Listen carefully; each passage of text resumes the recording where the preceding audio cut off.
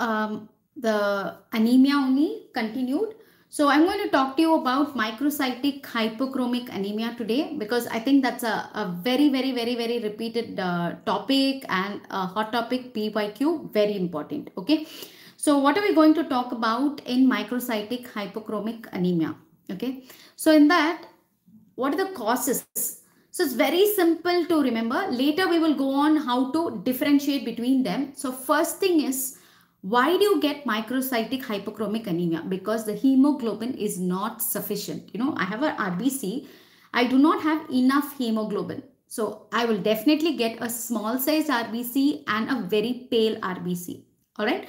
Now, so we will break down our components, hemoglobin. So anything in the hemoglobin, when it is not adequately produced, we are definitely going to have microcytic hypochromic anemia. All right. So that means we are going to talk about differential diagnosis of this condition.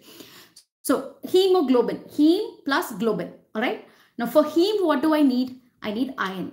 So in iron deficiency, can I get a microcytic hypochromic anemia? Yes, of course.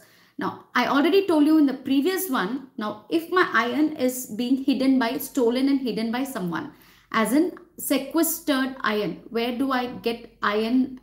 Where do I get the iron going and getting sequestered somewhere? Anemia of chronic disease. All right. So, there also you're going to have microcytic hypochromic anemia. All right. Now, do I need heme in the heme synthesis if I have a problem? Yes. So sideroblastic anemias. So under sideroblastic anemias, I will tell you the other causes of sideroblastic anemias, thereby microcytic hypochromic anemia.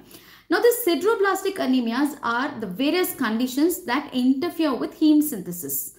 For example, now if I have a vitamin B6 deficiency, guys how will vitamin b6 deficiency cause sideroblastic anemia and thereby microcytic hypochromic anemia See, when I talk about vitamin B6, vitamin B6 is a cofactor for one of the enzymes in heme synthesis. What is that enzyme?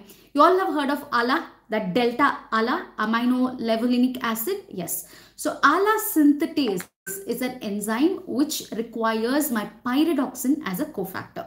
So when I have vitamin B6 deficiency, so can I indirectly say isoniazid? So when a patient is on ATT, isoniazid, can, I, can he get anemia, microcytic hypochromic anemia, the sideroblastic kind? Yes. All right.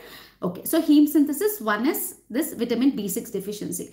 So can I have alcoholics chronic alcoholics they all have this vitamin b6 deficiency? Yes. So therefore the sideroblastic anemia one of the causes or in fact the most common cause chronic alcoholism is vitamin b6 deficiency and indirectly isoniazid treatment.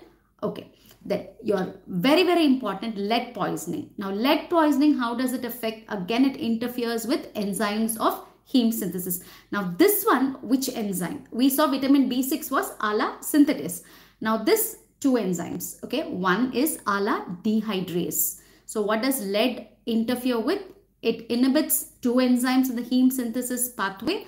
One is ALA dehydrase and another is ferrochelatase. So under sideroblastic anemia, I have four. So one is, I think four, right?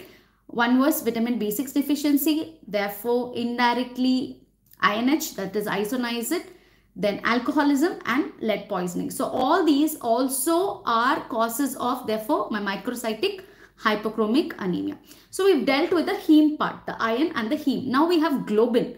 So where do we have a deficient globin synthesis? So I have a deficient globin synthesis as in quantitatively it's decreased in alpha thalassemia and your beta thalassemias okay?